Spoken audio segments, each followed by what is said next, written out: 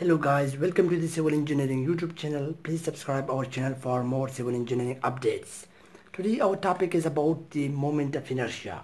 Uh, what are the moments of inertia of different objects and uh, specifically uh, the moment of inertia of the solid object is the hollow object.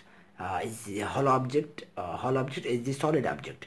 So we are going to find and to know about the moment of inertia of these objects. Uh, as I draw these objects on the board, so now I will explain the moment of inertia of these objects is known to us uh, from the uh, by proving it, right?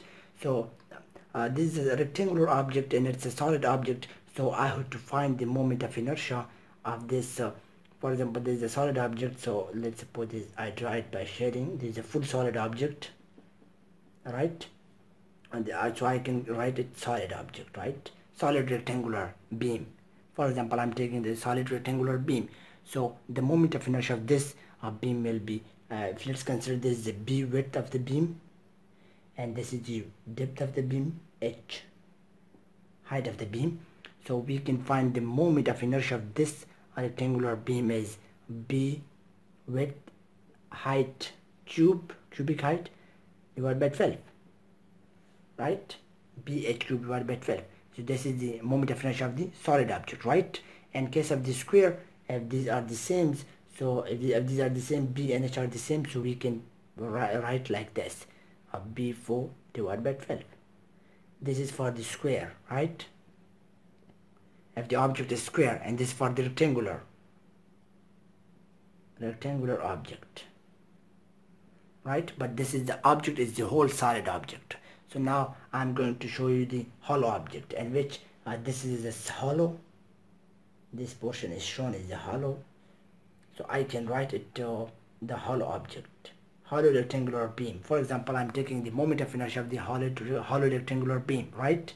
So now let's considering the width of the beam of this section is B and the depth of this section is H again H right?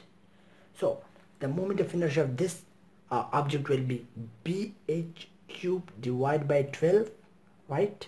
But now I have, I have to subtract this hollow area to find the moment of inertia of this object. So I will subtract minus the moment of inertia of this object. And this I suppose is b1 width is b1 and the depth is h1 right?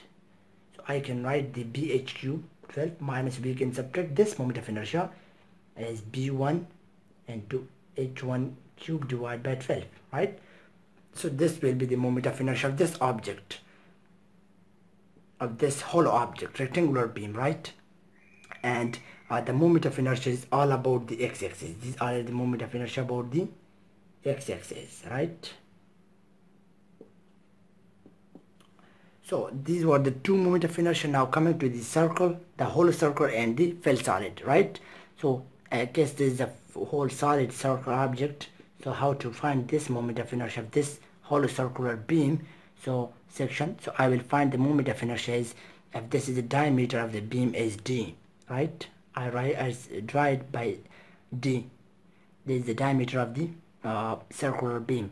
So I will find the uh, I can find the moment of inertia by pi by 64 and to d power 4 by this formula we can get and to the to find the uh, moment of inertia of this whole um, circular object right? So I can find the moment of inertia of this circular object simply by putting the values of d diameter of the object and dividing by 64 we can get the moment of inertia. Now how to find the moment of inertia of this object? It's hollow now again. This will be problematic to find the moment of inertia of the hollow beam hollow circular beam not a full solid uh, the solid portion is shown the outer while the inner is the hollow object right?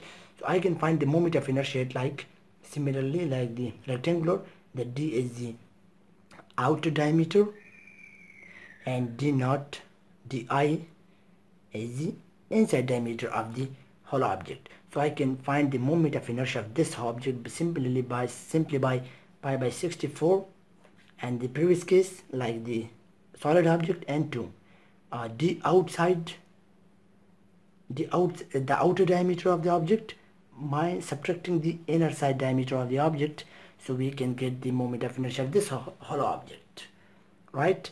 This was the way to find the moment of inertia of this hollow object. Just by subtracting the outside diameter from the inside we can get into the the uh, moment of inertia of this whole object. Now the one thing we remain with the uh, triangular object how to find the moment of inertia of the triangular section beam. Sometimes we are coming with the triangular section beam. So to find the moment of inertia let's considering the width of the beam is b and the height of the beam we consider it the h.